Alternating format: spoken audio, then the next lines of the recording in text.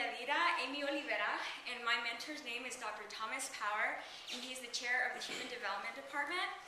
My, the title of my project is Latinas Mothers Interaction Quality and Children's Emotional Regulation.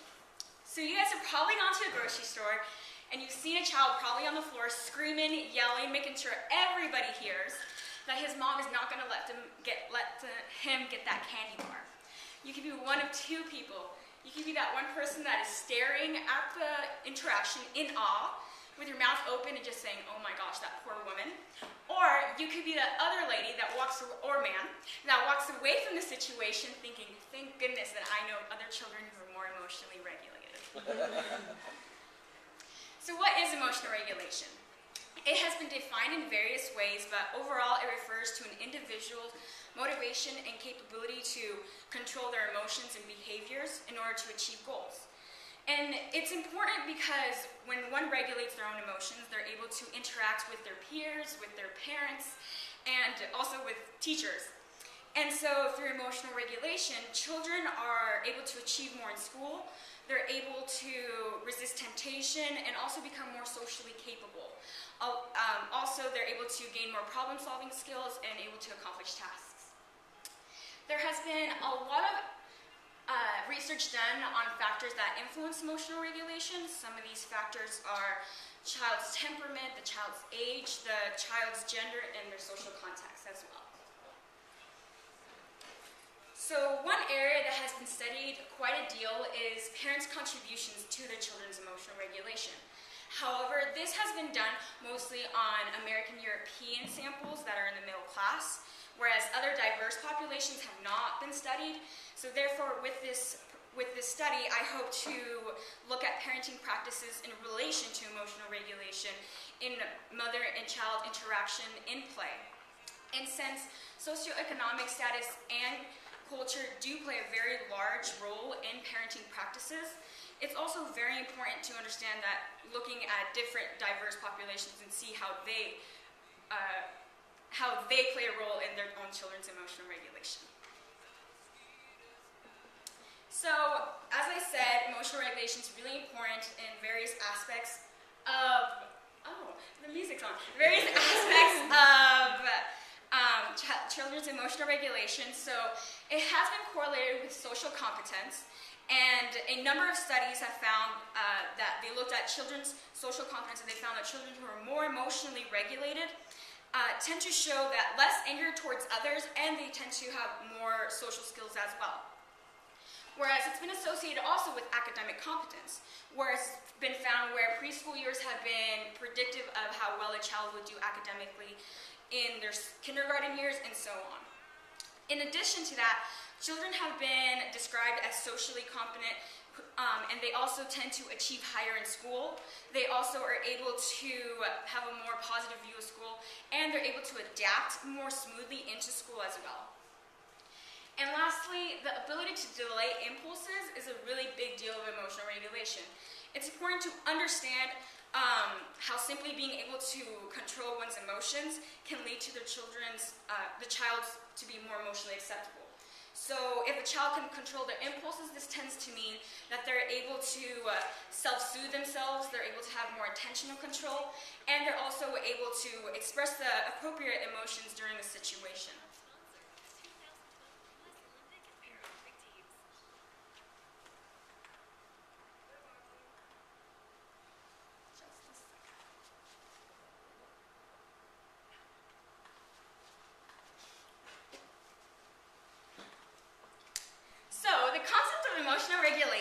has measured in mainly two ways. The first is the, oh, the first is the challenging tasks. And the goal of these tasks are to frustrate the child. So for example, tasks like delay gratification tasks, uh, uh, waiting for rewards tasks, or slowing down finer gross motor tasks are examples of what would be used. The second way is rating of the child by either parents or teachers, and this would be through um, giving the parent or teachers or anyone that comes in contact with the child on a regular basis, um, they give the, the parents or teachers a form or a questionnaire where they are asked to answer questions or rate the child through their behavior to rate the emotional regulation. So I examined five different aspects of the parental relationship, positive affect, negative affect, sensitivity, intrusiveness, and detached manner. And now I'm going to talk about these and define them and talk about the literature within all of them. And also, due to the lack of empirical studies on the diverse populations, most of this literature review is based on middle-class European, American European populations. European American populations. Well, the first is positive, uh, maternal positive affect. And this refers to um, when a mother gives warmth towards her child, and she, through her, it's through her tone of voice, through her physical expressions and her mannerisms. And this would be actions like smiling, praising, uh, laughing, or being enthusiastic, or even looking, having eye contact with the child when communicating with him or her.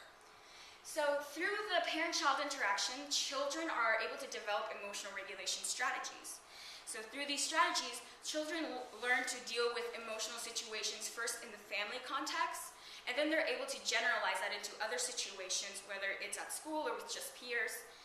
And along with that, these interactions also help parents demonstrate appropriate uh, emotions of when they should be expressed during certain situations. So children are learning what emotions are acceptable when and where.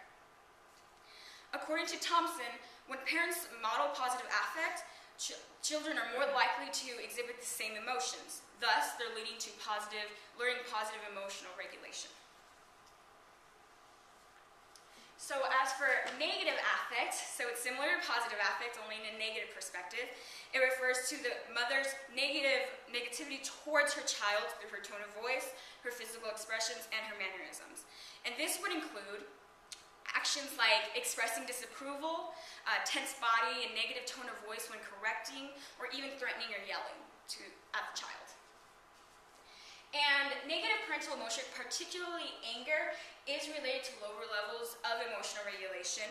And similar to positive affect, so parents who display more negative affect tend to encourage their children to do the same. Therefore, children who are more negative tend to have a less likely chance to have positive interactions with not just their parents, but also with their teachers and their peers. Um, and also there's a greater chance for these children to experience a lower social functioning because they tend to have very low levels of emotional regulation. As for maternal sensitivity, this refers to parent's ability to appropriately and consistently meet child's needs. This would include soothing or calming the child when the child's upset or distressed. This would also include, responding appropriately to the child's mannerisms, their gestures, their words or expressions, and taking interest in the child's activities, along with being able to adapt to the child's developmental level and their mood as well. And so, as many, as it's sensitivity has been associated with parental uh, or attachment and emotional regulation, and this is because it plays such a huge role in the way children process and understand their own emotions. So, parents' acknowledgement of the child's emotional expressions has been correlated with emotional regulation. So, for example, Eisenberg and colleagues have found that parents who help their children manage their emotion through discussion um, tend to have children who are more emotionally regulated as well. And also parents who engage in maternal soothing during a, dif a difficult well, a difficult situation tend to have children who use distraction during a difficult task um, and distraction during a difficult task has been associated with higher levels of emotional regulation. And these children also who engage in these distractions are also more likely to use verbal objections rather than physical objections in an angry situation with the peer. And parental intrusiveness, this refers to um, when a parent imposes their own agenda to the child despite signals from the child that the child needs a different level or pace or activity. Um, whether if the child expresses negative affect or turns away from the activity that the parent is trying to impose, that's an example of the child being intrusive, of the parent being intrusive. And intrusiveness is argued to contribute to children's emotional dysregulation, And since and this is because since the parent is always intruding, they're not giving the child an opportunity to develop emotional regulation. And studies have explained that because children have intrusive parents, they feel a lack of control, and this lack of control leads them to become more easily frustrated, along with also becoming uh, more overstimulated, leading them to express more negative affect as well. And lastly, detached manner. This refers to when a parent uh, behaves as they're unaware of the child's needs, even after the child is actively trying to seek attention, the parent is acting unaware, or if the parent does respond, they um, indicate that there is a lack of attention and a lack of true engagement in general. And detached manner has not been examined as frequently as the parental aspects, as I spoke about. And so I was unable to find any literature uh, about detached manner and children's emotional regulation, but I found that it was really important to continue to code for this because of the lack of research out there. So as I said, most research on this topic has been done on European American mothers in the middle class. And so I was unable to find any literature on the ethnic minority children's emotional regulation in relation to the mother interactions of play. And, but I did find an article by Ispa and colleagues that did not look at emotional regulation, but it did look at the same dimensions that I'm looking at, and it did relate to mother-child play, but and it also looked at uh, European American mothers, African American mothers, and Latino mothers, and they found that the negative association between maternal intrusiveness and child engagement was only significant in American European mothers.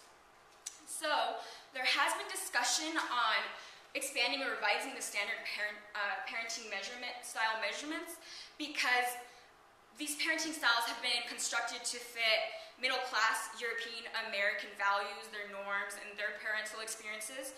So because of this, research on Latino parenting has varied quite a deal, where some Latino parenting parents have been described as permissive while others have been described as authoritarian.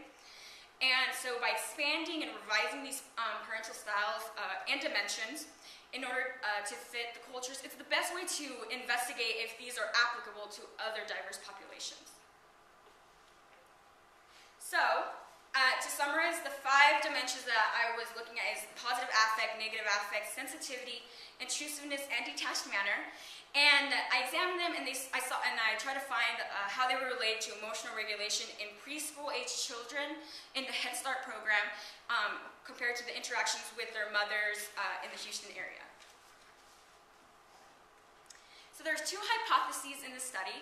The first was mother's positive affect and sensitivity would positively correlate with emotional regulation.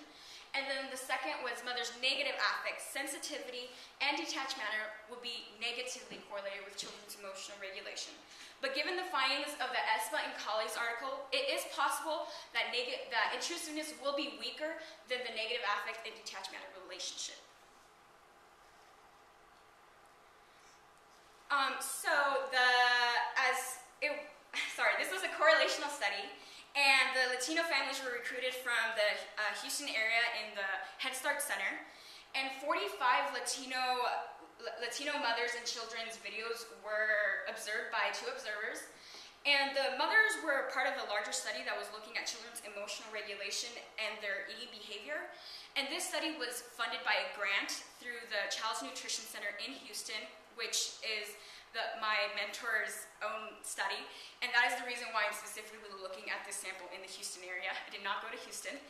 And um, so the children's mean age is about 57 months, and that's about four years, while the mom's mean age is about 29 years. And again, all of these moms were low income because one of the requirements for uh, Head Start is that children have to come from low income households.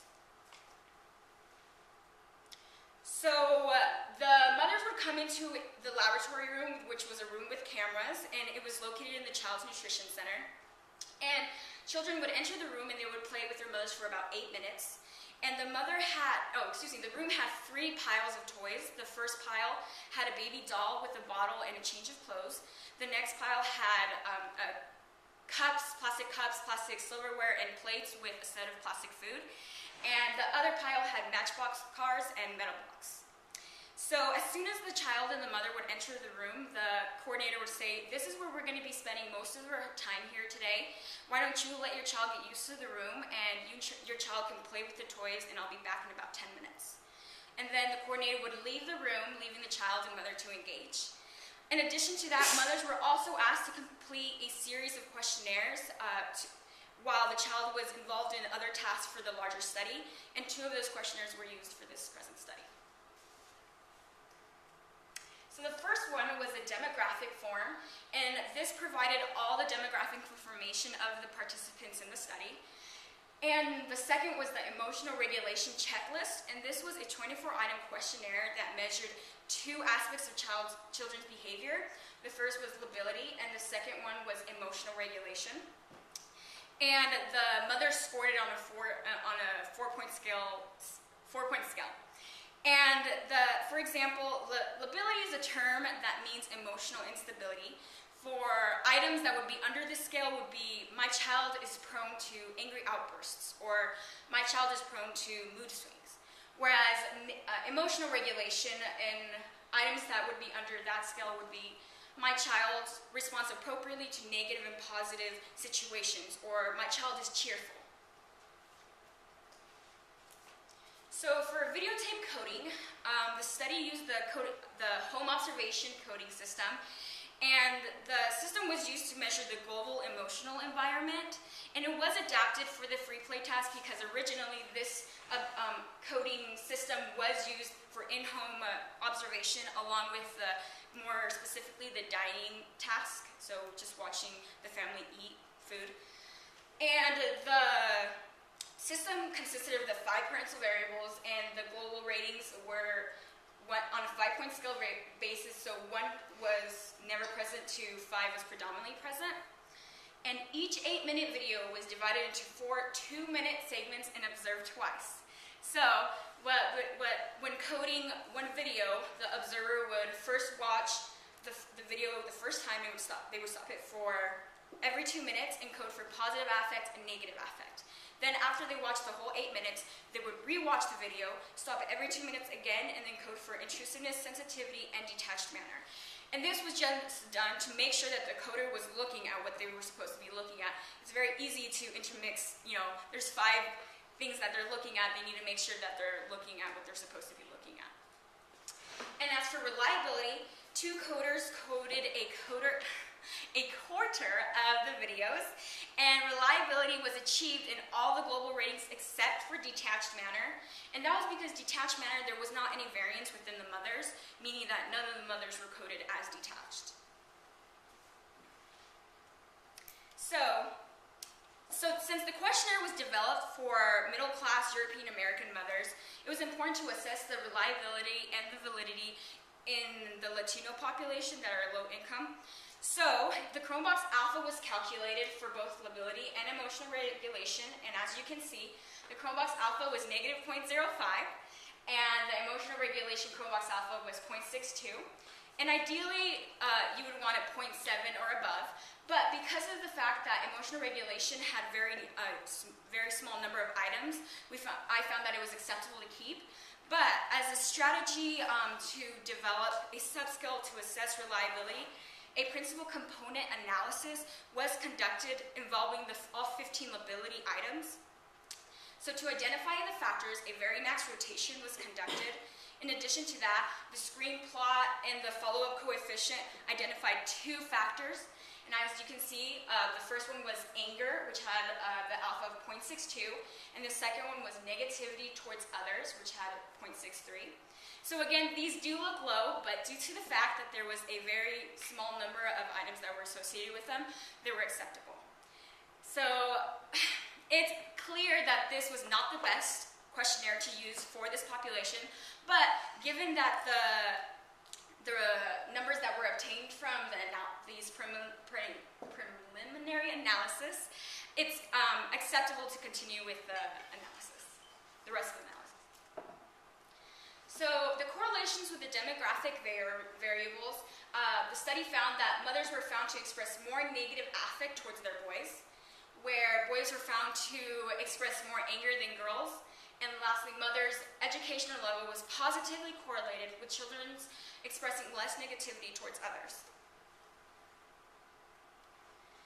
Um, so the Pearson correlations were run between maternal global ratings and the child's behavior ratings to test the hypotheses that mother's uh, maternal behavior would predict child's emotional regulation.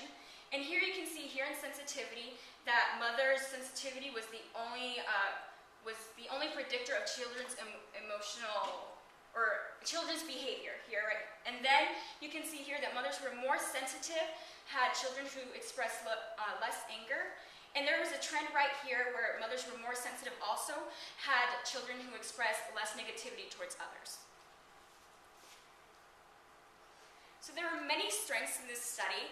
Uh, one of the strengths was the use of a low-income minority group population, and then the, the use of a well-developed coding system along with the two-month coding training, and then the combination of observer coding and self-reports and of course the measurement of multiple variables. So despite these uh, strengths, there were some limitations, which were the first was the, it was a correlational study, meaning that it's not possible to establish causality. Second was the self-report questionnaires. This, the use of a self-report method gives participants an opportunity to skew their answers to make themselves look better sometimes, or in this case, make their children seem better, more emotionally regulated.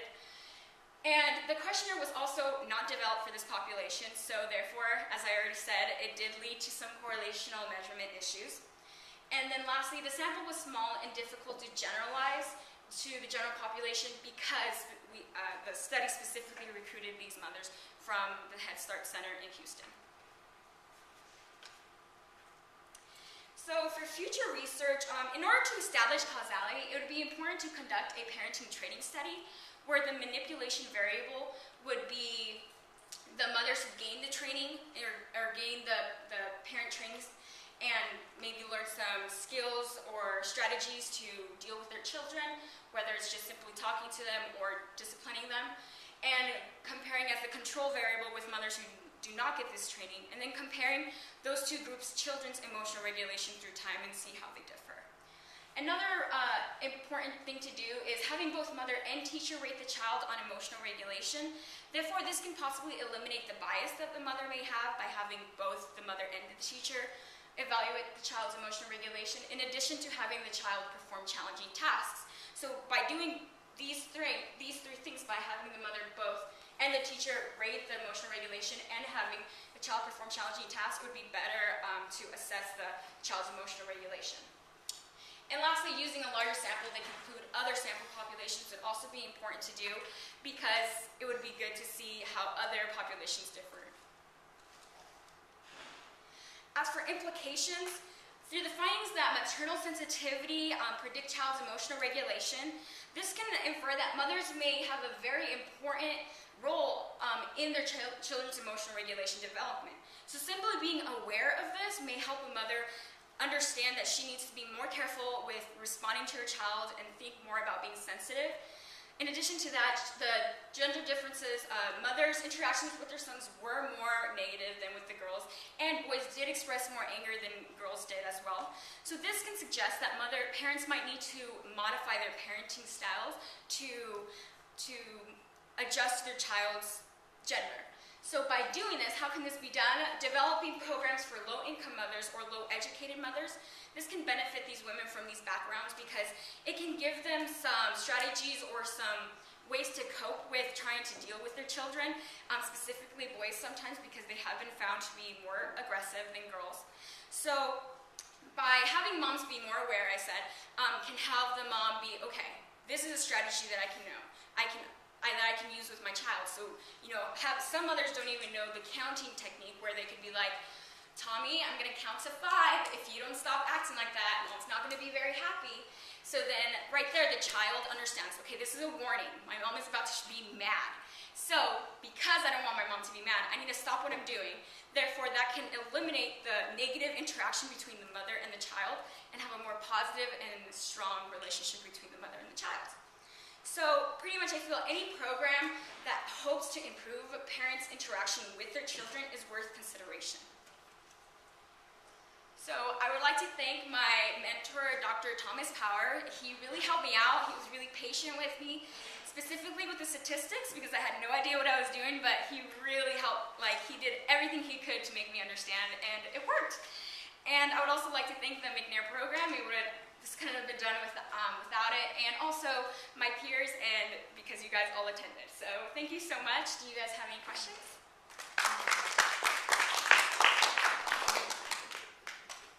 Do you think also, especially on the cultural side, of the, the father could be a playing role, especially on, if it's on boys being more having more anger and issues than uh, girls? Wouldn't that be a factor, especially seeing more? Sometimes the father is the uh, has more the last say or the rule in Latino uh, populations. Wouldn't that be an important aspect to look as well? That is important if you're looking at first generation parenting. A lot of these moms were first generation, but there were also moms that were second generation. And some of the studies that came across that were not related to my literature, but I did read them because of interest. But it was found that mothers, like second generation families with mothers and fathers, they tend to have a more equal say in their children's. So sometimes it isn't that way where the father has the last say, but definitely that is something that can be considered, especially with the culture aspect of it.